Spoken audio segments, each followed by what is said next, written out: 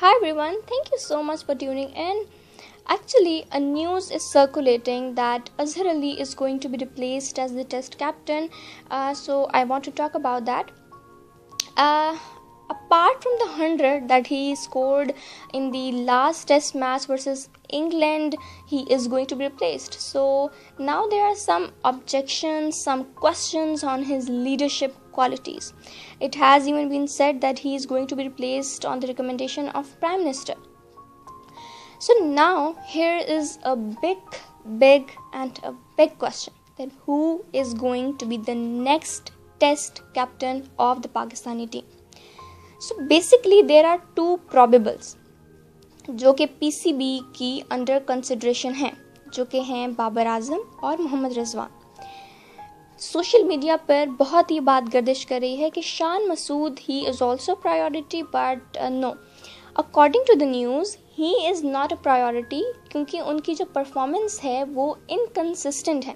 All तो हम लोगों ने देखा कि उनकी जो परफॉर्मेंस है मुल्तान सुल्तान के लिए in the P S L it has been very great उनकी जो लीडरशिप क्वालिटीज़ हैं वो भी हम लोगों ने देखी, बहुत मिच्योरली उन्होंने सब कुछ हैंडल किया।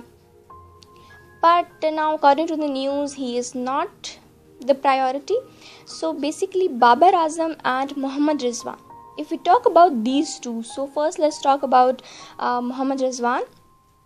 So he is a great player a fighter and a great wicket keeper. He proved himself by his stunning performance against England in the last uh, series, um, not just as an exceptional player but also as a good wicket keeper and then his uh, dramatic catch in the national T20 Cup it even gained um, international attention. So he's a fighter and he can be proved as a very good captain. I see in, in himself some leadership qualities. On the other hand, if we talk about uh, Babar Azam, so उनकी उस पर मुझे डर है कि कहीं उनकी batting के ऊपर वो कैप्टनसी इफेक्ट ना कर जाए uh, you know he is considered as the most valuable asset of the Pakistani team at this point of time the last hope of the Pakistanis when we are losing a match so हाँ उन्होंने handle कर लिया है O D Is को T twenties captaincy but test cricket जो होती है it is a very different ball game so उसके अंदर अगर कोई अब डाउन हो गए हमारी परफॉर्मेंस के अंदर टेस्ट में.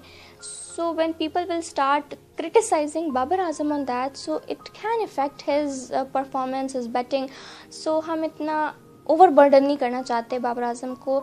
So that's why my vote it goes for Mohammad Rizwan tell me in the comments who do you vote for